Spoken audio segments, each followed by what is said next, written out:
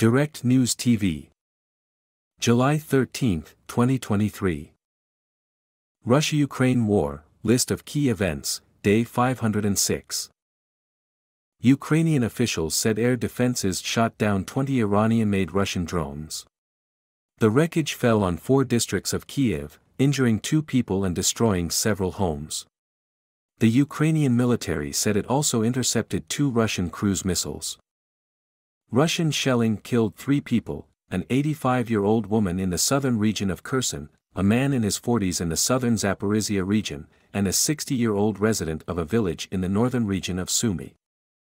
Moscow's military leadership dismissed Major General Ivan Popov, commander-in-chief of Russia's 58th Combined Arms Army fighting in southern Ukraine after he criticized battlefield strategy and expressed concern about his troops fighting without rest.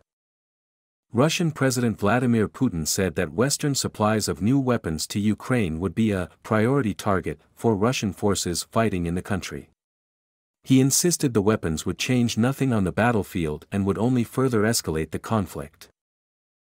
Russia's nuclear chief said only, a complete idiot, would be reckless enough to blow up the Zaporizhia nuclear power plant amid Ukrainian claims that Moscow was planning an attack. Russia has occupied the site since the early weeks of its invasion. The Wagner mercenary group is no longer involved in military operations in Ukraine in any significant way, the Pentagon said, more than two weeks after the group staged a short-lived armed mutiny in Russia. Wagner played a key role in Russia's capture of Bakhmut in May. Vyacheslav Gladkov, the governor of Russia's Belgorod region, said shelling attacks were reported in several villages near the Ukrainian border. One man was injured. Diplomacy Putin threatened to withdraw from the Black Sea grain deal, which allows for the safe export of Ukrainian grain and fertilizer from Black Sea ports and is due to expire on Monday.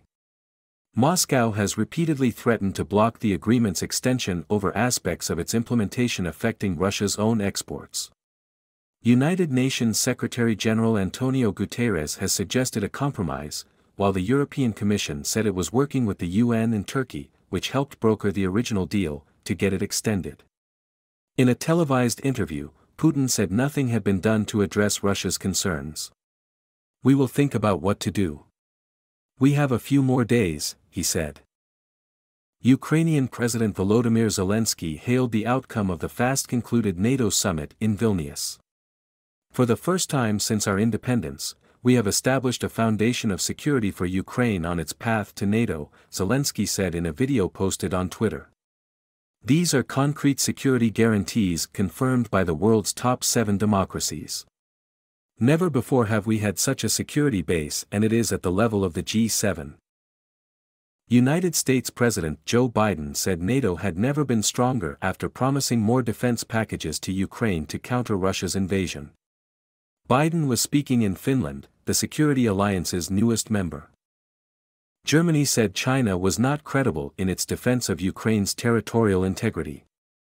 Chinese propaganda is amplifying Russia's narratives regarding its illegal war of aggression against Ukraine, Berlin said in its new China strategy document. Beijing has not condemned Moscow's February 2022 invasion.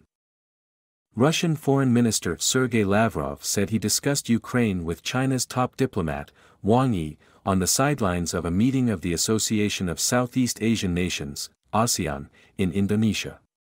An exchange of views took place on the current situation around the Ukrainian crisis.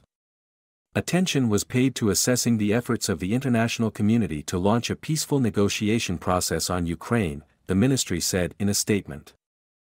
Biden said he was serious about pursuing a prisoner exchange for Wall Street Journal journalist Evan Gershkovich, who has been detained in Russia for more than 100 days. That process is underway, he told reporters. The European Union's lending arm has unveiled a new fund worth 400 million euros, $447 million, to spend on rebuilding Ukraine before the bloc's longer-term reconstruction plan kicks in. Weapons Ukraine's defense minister Alexei Reznikov said meetings at the NATO summit in Vilnius were very productive for Ukraine and that allies pledged more than 1.5 billion euros, $1.68 billion, in military aid. The Ukrainian military and the Pentagon said the first U.S. cluster munitions had arrived in the country.